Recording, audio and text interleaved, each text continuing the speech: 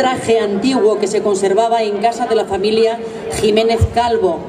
Algunos de los miembros de esa familia también bailan. Este traje llegó a manos del grupo en los años 90, pero conseguir que alguien pudiera fabricar la tela con esos dibujos que están viendo, unos dibujos tan exclusivos, fue una labor dura, pero Isidra se empeñó y lo logró. En 2003 se presentó este traje que es el que actualmente luce la reina de las fiestas de Arnedo. El repertorio de este grupo es como todos muy variado, incluye danzas de palos, de pañuelos, de arcos, contradanzas y jotas. Bueno, van a ofrecernos tres danzas. En principio, una que se llama La Sinda. Esta es una danza que enlaza varias músicas con origen en lo que fue Castilla la Vieja.